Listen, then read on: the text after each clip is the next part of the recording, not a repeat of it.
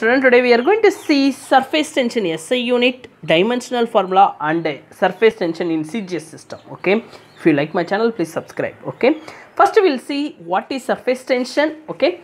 Surface tension it's called force per unit length. Surface tension we can take it as a force produced per unit length. When we are placed some object on the liquid, okay, on the liquid surface, how much force is created per unit length we can take it as a surface tension. Force SI unit is a Newton unit SI unit is a meter okay? So SI unit of surface tension is Newton uh, per meter or we can take it meter as a numerator Newton meter inverse okay? So same unit in a CGS system. CGS system we can take it as a Newton as a dyne in CGS system and meter as a centimeter inverse okay this is a thing we can take it okay? Now i'm going to tell you what is a newton meter. Si unit of surface tension is newton meter inverse okay? Newton already we know we it's a force SI unit force is equal to mass into acceleration okay? Mass SI unit is a kg acceleration SI unit is a meter by second square.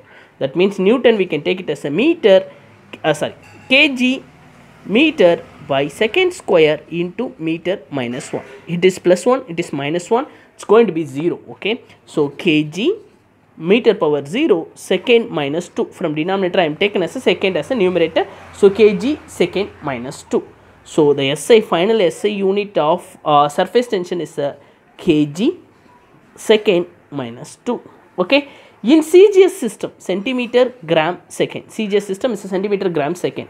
Already we I said it's a dyne centimeter second minus 1 dyne dyne is also force unit in a CGS system okay? That is gram centimeter second minus 2 the same as a force unit kg meter second minus 2 I am writing the same unit in a CGS system. That means gram centimeter second minus 2 okay? And centimeter minus 1 it is plus 1 minus 1 plus 1 it's getting cancelled. So gram second minus 2 we got the surface tension in CGS system also okay? Now dimensional formula okay? Dimensional formula for surface tension.